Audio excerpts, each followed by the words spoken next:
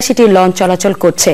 নতুনভাবে এমভি শাহপরান যুক্ত হলে এই সংখ্যা দাঁড়াবে সাতাশিতে। বাইশ অগস্ট মাওয়া ঘাটে এমভি শাহপরান নামে লঞ্চটির শ্রমিকরা ভাঙচুর করে আটকে রাখে।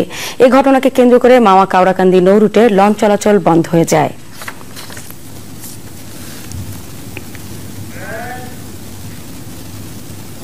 ময়মনসিংহের ধোবাউড়ায় আওয়ামী লীগের দুপক্ষের সংঘর্ষে উপজেলা চেয়ারম্যান এবং উপজেলা আওয়ামী লীগের সাধারণ সম্পাদক ফুরকান উদ্দিন মৃধা সেলিম নিহত হওয়ার ঘটনায় ছয় জনকে আটক করেছে পুলিশ। পরবর্তী নির্দেশ না দেওয়া পর্যন্ত এলাকায় একশো চুয়াল্লিশ ধারা জারি করেছে স্থানীয় প্রশাসন। এলাকায় র্যাব এবং অতিরিক্ত পুলিশের পাশাপাশি বিজিবি মোতায়েন করা হয়েছে। ওই সংঘর্ষে গুরুতর আহত পাঁচ জনের চিকিৎসা চলছে ময়মনসিংহ মেডিকেল কলেজ হাসপাতালে। ফুরকান উদ্দিনের পরবর্তী নির্দেশ না দেওয়া পর্যন্ত এলাকায় একশো চুয়াল্লিশ ধারা জারি করেছে স্থানীয় প্রশাসন।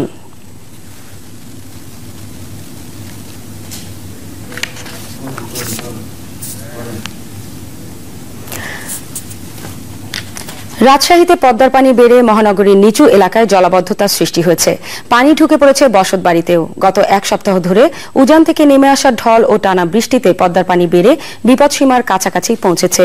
পানিবন্দী হয়ে পড়েছে মহানগরীর পঞ্চবটি, বাজে কাজলা, কাটাখালী, শ্রীরামপুর, বুলনপুর এলাকার বাসিন্দারা।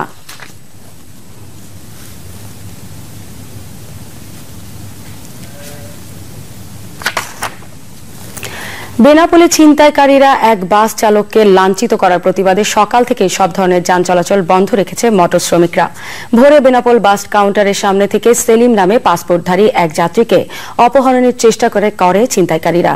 সে সময় বাস চালক বাধা দিলে ছিনতাইকারীরা তাকে মারধর করে। সেলিমকে অপহরণ করে বেনাপোল স্টেশন এলাকায় নিয়ে যায় ছিনতাইকারীরা। এর প্রতিবাদে বেনাপোল মটর শ্রমিক ইউনিয়ন সকাল থেকে যান চলাচল বন্ধ করে দেয়। চট্টগ্রামের বাঁশখালী উপকূলের প্রায় ৩৫ কিলোমিটার বেড়িবাঁধ পুনর্নির্মাণের দাবি জানিয়েছে বেড়িবাঁধ বাস্তবায়ন সংগ্রাম পরিষদ।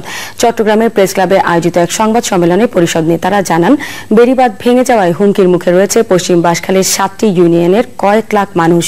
লোনা পানিতে ভেসে গেছে কয়েক হাজার একর জমির ফসল এবং কয়েকশো খেরের চিংড়ি মাছ। স্থায়ী বেড়িবাঁধ নির্মাণের দাবিতে সমাবেশ, মানববন্ধন এবং হরতালের কর্মসূচি ঘোষণা করেছে পরিষদ নেতারা।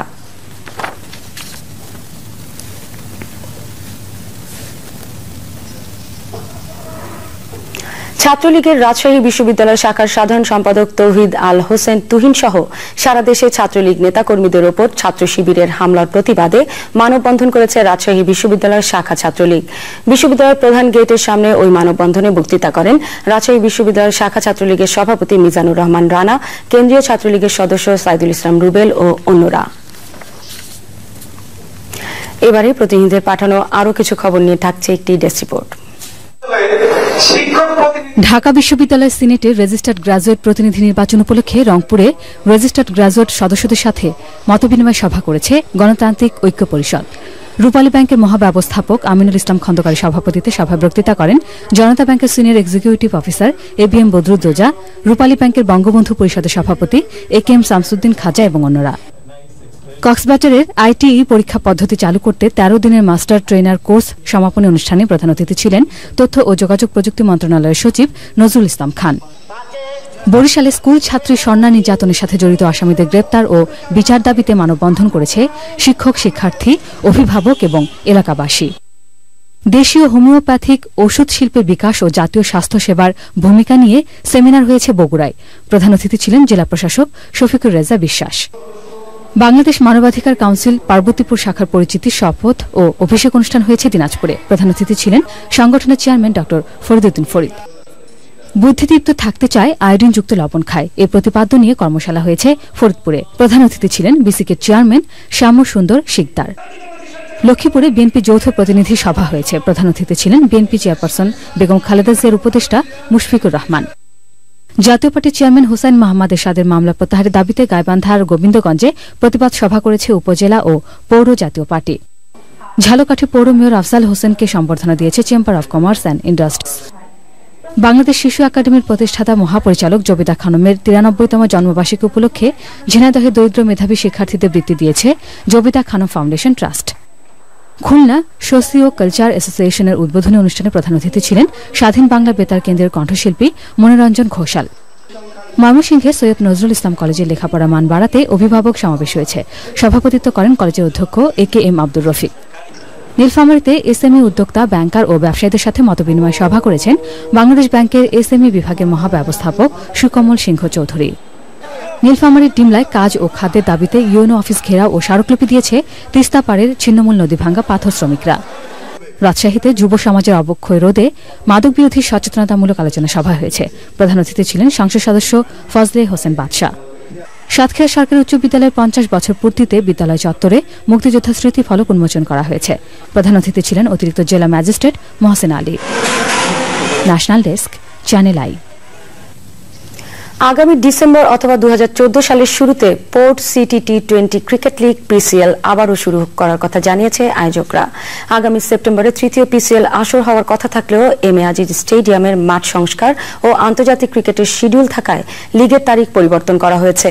রোববার চট্টগ্রাম জেলা ক্রীড়া সংস্থার প্রশিক্ষণ মাঠে নতুন ক্রিকেটারদের প্রশিক্ষণের উদ্বোধনী অনুষ্ঠানে সংস্থার সাধারণ সম্পাদক পিসিএল এর চেয়ারম্যান ও বিসিবির পরিচালক আজম ও নাসির উদ্দিন একথা জানান।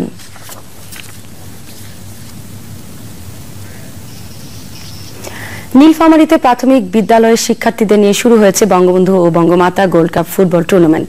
এ উপলক্ষে সদর উপজেলা প্রশাসনের উদ্যোগে শহরে বর্ণাঢ্য র্যালি বের করা হয়। পরে খেলার উদ্বোধন করেন জেলা প্রশাসন এস এম মাহফুজুল হক। উপস্থিত ছিলেন জেলা পরিষদ প্রশাসক অ্যাডভোকেট মুমতাজুল হক, উপজেলা চেয়ারম্যান জয়নাল আবেদিন, অতিরিক্ত জেলা প্রশাসক রফিকুল নবী এবং অন্যরা।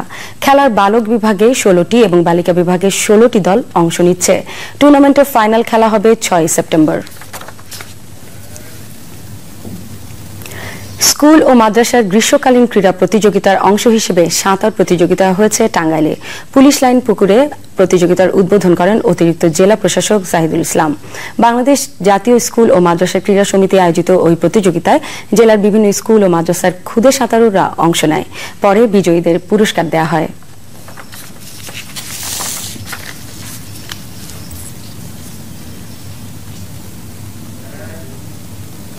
আর এই ছিল জনপদ